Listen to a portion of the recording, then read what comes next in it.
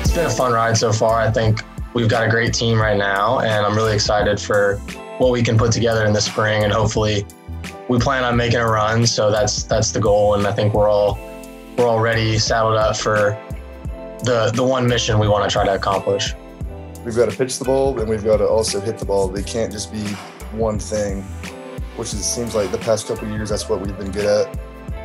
One game, we're pitching the ball really well. The next, we're hitting the ball well. I think in order for us to actually be that great team that we have the ability to be, we've got to do both at the same time.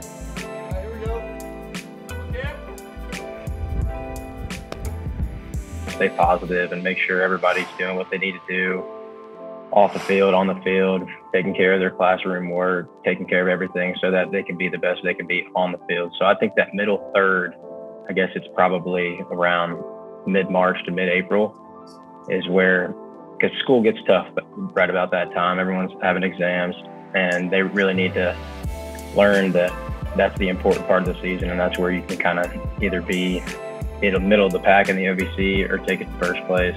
We all know what the expectation is, and kind of each one of us has our own role within the team. So it's less about what's said and more just the actions that take place.